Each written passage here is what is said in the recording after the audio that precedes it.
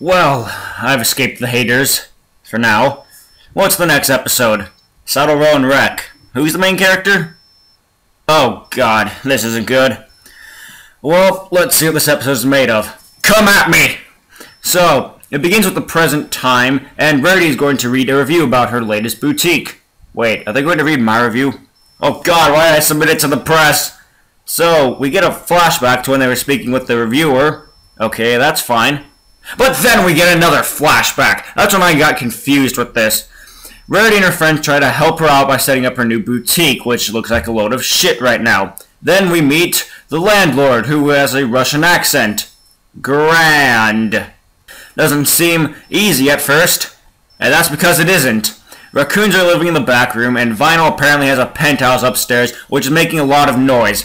There are flashback breaks in between, and the Russian daughter has terrible ideas like spoon furniture or stuff like that. I don't know. Everything looks like it'll fail, so Rarity's friends try to take on different tasks. Pinkie Pie meets her with her shoulder angels, who are confused, I think. The angel wants, wants Pinkie to have fun, and so is the devil at first. But then the devil corrects Pinkie by saying that would she ever say such a thing, which is leading to what the angel said, which was to have fun.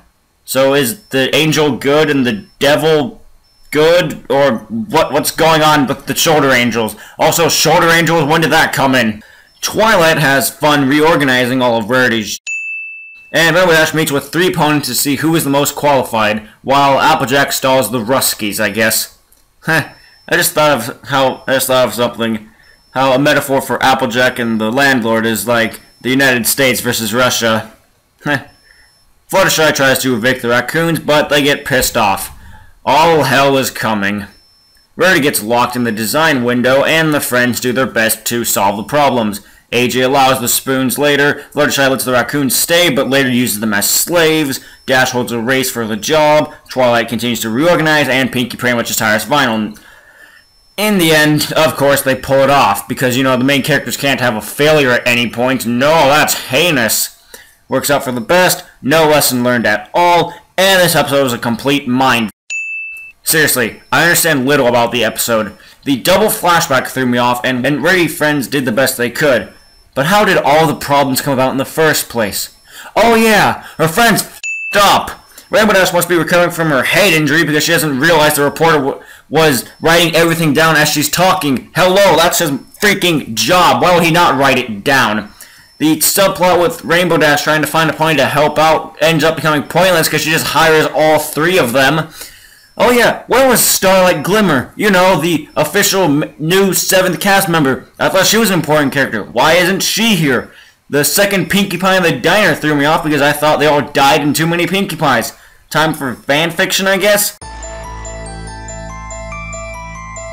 Reading the episode during my first, second, and third watch of the episode was hard. I could not think of one when I was writing the notes, it literally came out as a question mark at first, but now it's clear. The rating for this episode is a solid 1 out of 10.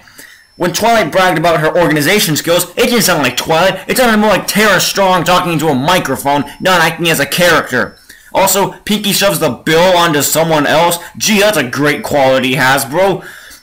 I like little about this episode. Do you want to know the best things about this episode?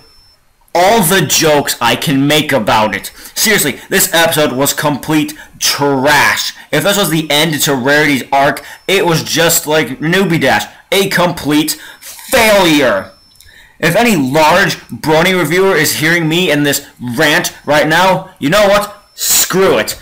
Come at me. All of you praise everything that they almost make except for some episodes once or twice. But I seem to be one of the only people who talks badly about them. So you know what? I will make out my I will make myself as a villain if I have to. Come at me. This has been Wolf versus Ponies. Perhaps it was the haste of a man who longed to take his revenge like his vodka in one dreadful swallow. But I see now I must take my time. I will plant seeds of revenge and let them grow. Then I'll harvest the vegetables of revenge. And from those vegetables I will plant more seeds. And then you'll get your revenge? Oh, no, From the third or perhaps fourth harvest of revenge plants, I will make a vegetable stew and season it perfectly.